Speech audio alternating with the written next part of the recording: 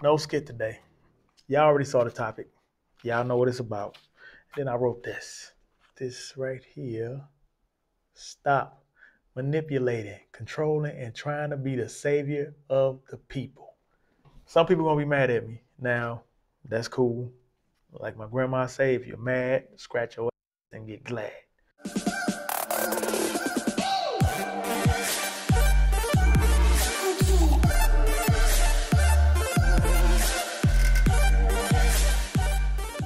Should look at ourselves. And if we're not seeing ourselves, I feel like somebody should make us look at ourselves. Let's talk about this. Africa have so many youth. They have so many young adults, women and men.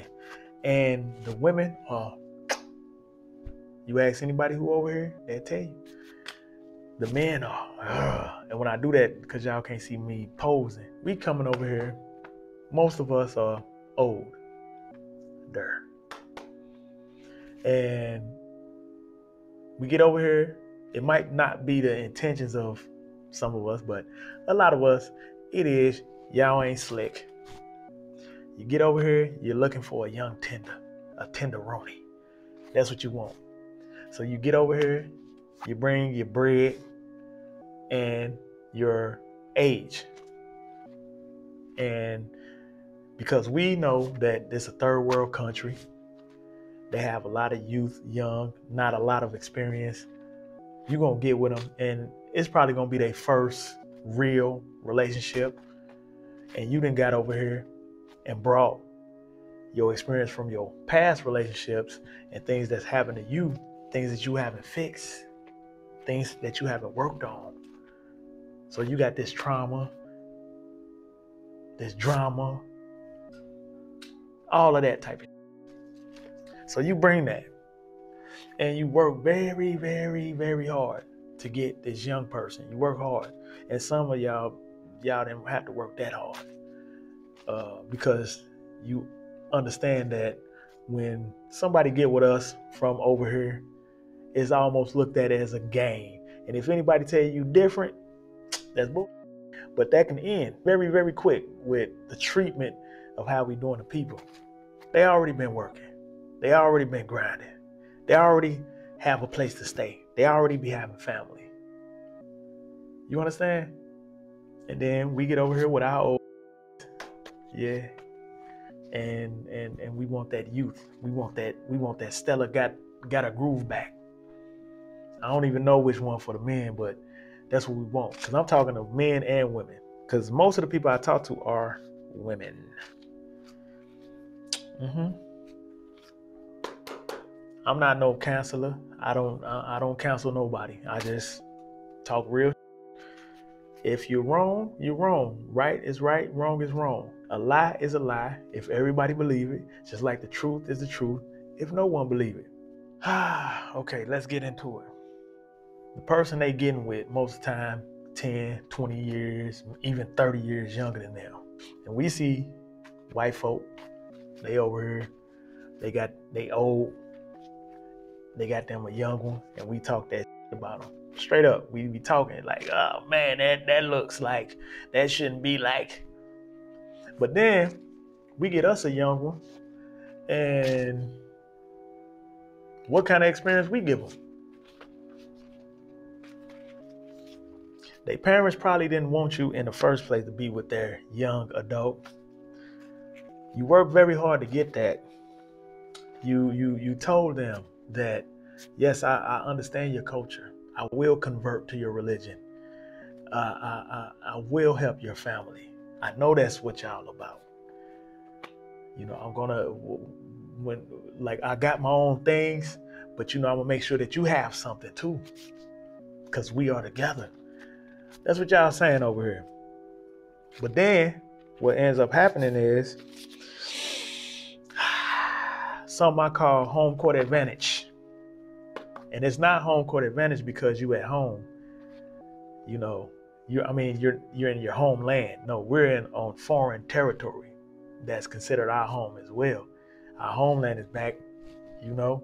But home court advantage is your money, your buildings that you're buying, your land that you're buying, the cars that you buy, the houses, all of that. Right? Put that there. Y'all see that? Yeah, those things. That's home court advantage. And you use that because you know you're in a third world country. Yeah.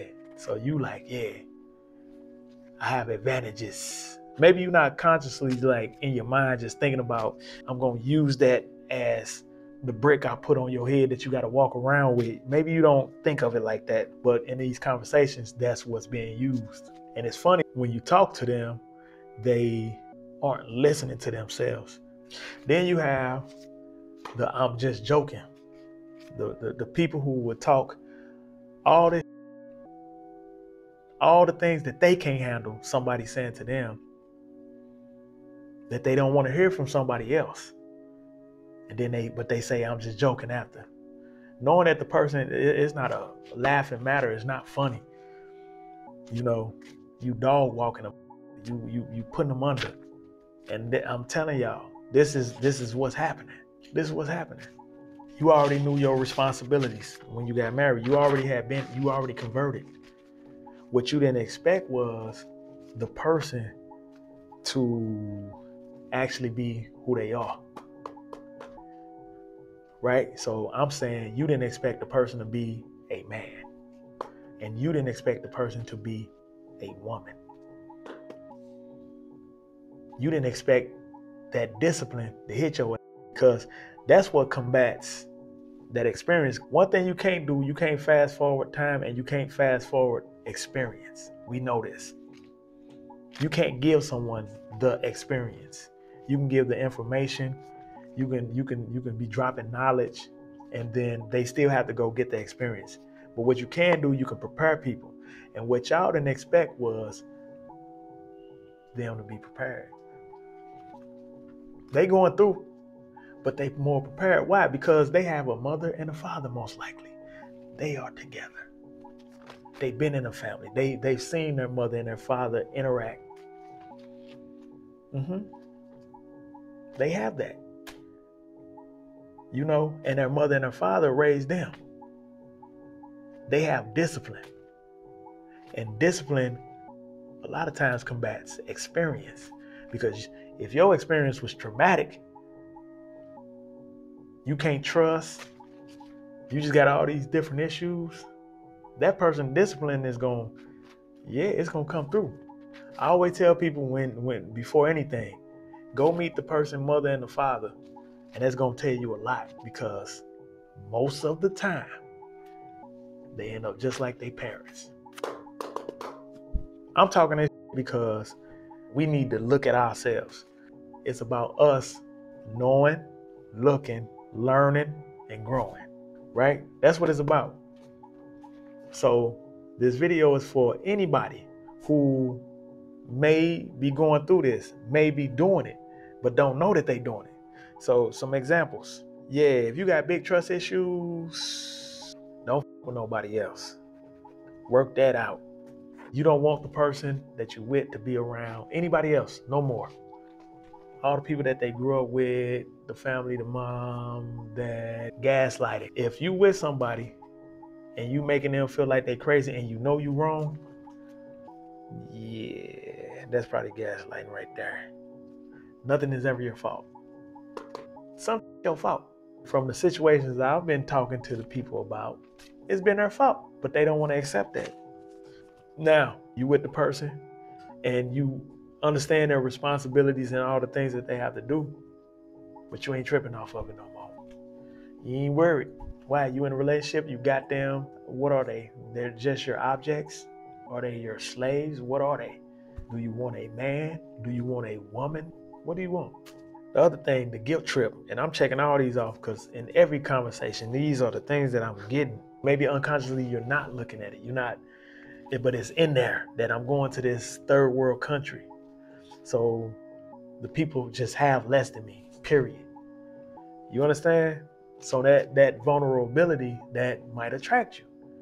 That you feel like you will have an advantage. Because in your previous relationships, you didn't have that advantage. Somebody else was in control. Somebody else had the money. Somebody else the maybe you felt like the power was unbalanced. You understand what I'm saying? Then part of the savior complex is you always need to find a solution when you don't need to find a solution for somebody else. You need to find a solution for you because you working on you, fixing you 100% is going to do what? It's going to help your relationship. The third one is you keep making sacrifices emotionally, time wise, and financially. And you know, the biggest killer, no matter where you at, uh, for us is when the money is like this and then it goes like this. So all those responsibilities that has to keep happening for whoever you with, they got to keep happening regardless. So you got to let them do what they do, what they've been doing, what they know how to do. So another thing you probably should think about is if you're helping for the wrong reasons. Some of y'all helping for the wrong reason. Help yourself first. I ain't gonna say no more about that one.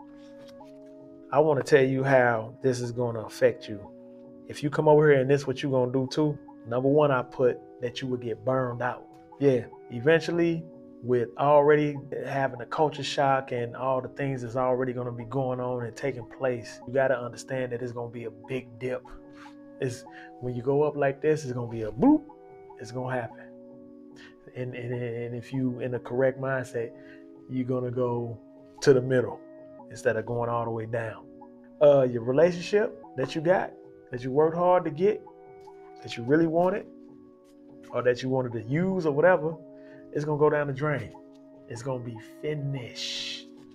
It's gonna be done in the sewer.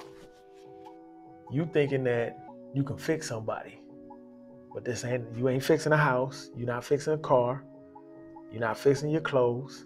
This is a human you talking about. You're pushing for an experience that's non-existent. Non-existent. The only thing that you can bank on with doing that is becoming disappointed. That's it. So number three, you're gonna feel like you failing or you failed because you can't fix people. The energy is not gonna be right. The frequency is gonna be low or high, too high. It's not gonna be balanced. So it's gonna be done. So you gotta identify first within yourself. You gotta listen to whoever you with. Then give some low pressure assistance. That's like Hey, if you need to rap, we can rap. If I know about something and I can help you with it, hit me up. Those low pressure. And the key, work on yourself. And that's it, man. We need to do this because they will crack down on us. We are in a foreign country, even though we're saying this is our home, Africa is our home. They don't have to be gracious, they don't have to be good to us. You know, and it will change if they continue to see us not being good to them. All right? Blessings and love.